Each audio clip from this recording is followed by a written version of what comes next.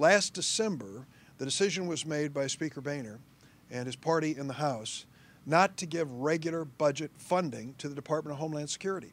Instead, what they gave them was a continuing resolution, which basically means their authority to spend money is limited. And that continuing resolution runs out two weeks from today. We're embroiled in a fight in Washington about funding this department. Many of us believe there's no questions to be asked here. We've got to make sure this funding comes through. Yesterday, I made a motion on the floor of the United States Senate for clean funding bill for the uh, Department of Homeland Security. And there was an objection from the other side of the aisle. So the clock is ticking with two weeks to go.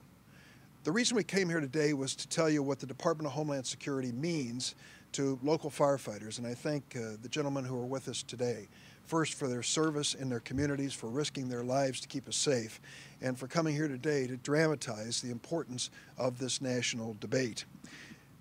First, with regard to fire departments, Illinois communities throughout the state re rely on critical funding from the Department of Homeland Security. Grants received through the Staffing for Adequate Fire and Emergency Response Program, the SAFER program, which SAFER grants, which virtually every fire chief and fire uh, fighter knows, help departments hire new firefighters, retain the ones that they'd otherwise lose due to budget cuts.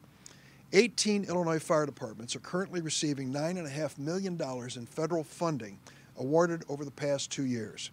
They include North Chicago, Franklin Park, LaGrange, Kankakee, many others right here in the Chicago area. Because these payments are made on a bi monthly, monthly, or quarterly basis, if we don't refund the Department of Homeland Security, God forbid, 59 Illinois firefighters supported by these funds aren't going to receive their paychecks. There won't be anyone at the DHS to write them.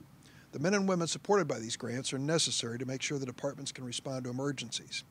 DHS grants also are used to purchase critically needed equipment. We have some examples here, and to support operations and safety efforts.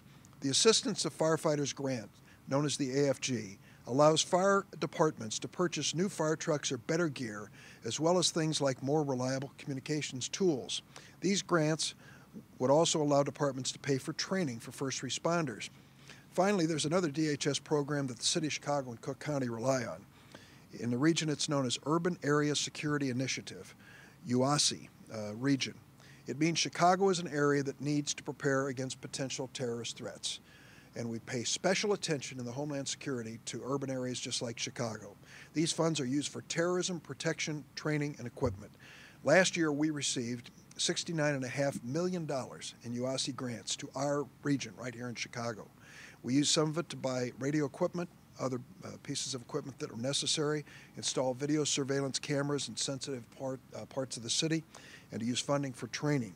We need to make sure that the people of Chicago and millions of visitors are always going to be safe. This is what it comes down to. It's time for the Congress to do its job. It's time to end the political fight. Let's pass a clean appropriations bill for the Department of Homeland Security. Let's not leave in doubt at all whether or not these grants are going to be there as needed by these local firefighters who literally risk their lives for us every single day.